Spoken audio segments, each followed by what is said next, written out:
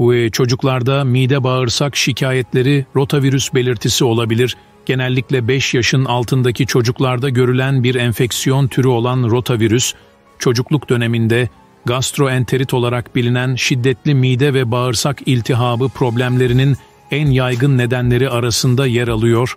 Bulaşıcılık özelliği olan rotavirüs, çocuklarda kusma, sıvı ve elektrolit kaybı, yüksek ateş gibi olumsuz durumlara yol açıyor ve çocuğun halsiz düşmesine neden oluyor. Temas yollarına dikkat. Toplum içerisinde bulaşıcı enfeksiyonların yayılımı kolayca gerçekleşmektedir.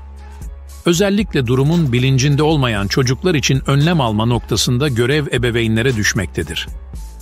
Rotavirüs enfeksiyonu çeşitli yöntemlerle bulaşabilen bir virüs tipi olduğundan yeteri kadar önlem alınmaması durumlarında bulaş riski artmaktadır. Rotavirüsün en bilinen ve sık bulaşma şekli temas yoluyla gerçekleşmektedir.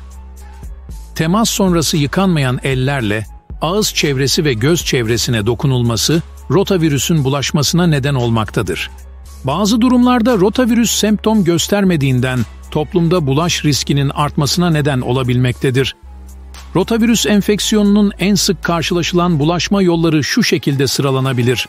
Hasta kişiye dokunma veya onunla el sıkışma gibi yakın temas, enfekte bir nesneye veya yüzeye dokunduktan sonra eller yıkanmadan ağıza, buruna ve gözlere dokunma, öksürme ve hapşırma ile ortaya çıkan partikülleri soluma, rotavirüs, enfekte bir hastanın dışkısı yoluyla dahi bulaş ortaya çıkabilmektedir.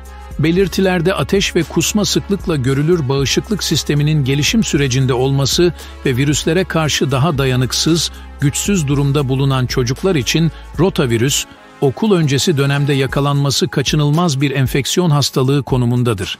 İlk günler kuluçka günleri olarak tanımlanır, ateş ve kusma şikayetleri görülür.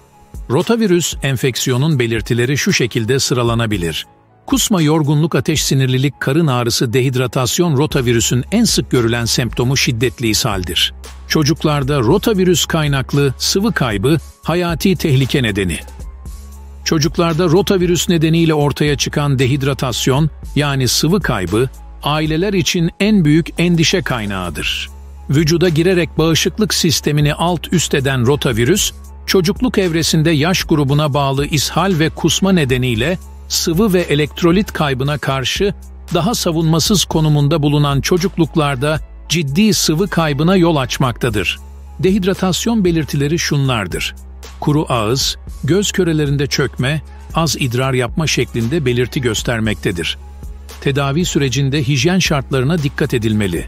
Rotavirüs enfeksiyonunu ortadan kaldıracak herhangi bir ilaç veya tedavi şekli bulunmamaktadır. Bu duruma antiviral ilaçlar, reçetesiz satılan ishal önleyici ilaçlar ve antibiyotikler dahil olmaktadır. Hastalığın teşhisinde genel olarak belirtiler dikkate alınır ve kesin teşhis için alınacak dışkı örneğinin laboratuvarda incelenmesiyle yapılmaktadır. Tedavi açısından amaç sıvı kaybını engellemektir. Rotavirüs tedavi sürecinde şunlara dikkat edilmelidir. Bol bol su içilmelidir. Şekerli ve yağlı yiyecekler tüketilmemelidir kusma ve ishal önleyici ilaçlar verilmemelidir. Beslenmesi iyi olmayan, sıvı kaybı olan ve ishal sıklığının fazlaca olduğu çocuklarda damardan sıvı verilmesi için en yakın sağlık kuruluşuna başvurulmalıdır. Aşı çok önemli uzmanlar tarafından hastalığa karşı aşı yaptırılması önerilmektedir. Bebeklerde 6. aydan önce tamamlanması önerilir. Rotavirüs hastalığına karşı şu önlemler alınmalıdır. Tuvalet sonrası eller yıkanmalıdır. Yiyecek hazırlamadan veya yiyeceklere elle temastan önce yıkanmalıdır. Yemeklerden önce ve sonra eller yıkanmalıdır. Rotavirüs hastası olan bir kimseye bakıldıktan sonra, özellikle bezleri ve kirli çamaşırları değiştirdikten sonra eller yıkanmalıdır. Eşyaların bir yere temas etmemesine özen gösterilmelidir.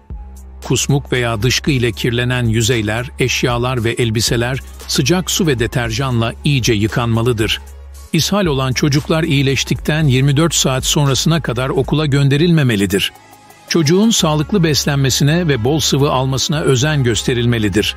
Çocuk yağlı ve şekerli besinlerden uzak tutulmalıdır. İshal olan kişiler tam olarak iyileştikten 2 hafta sonrasına kadar havuza girmemelidir.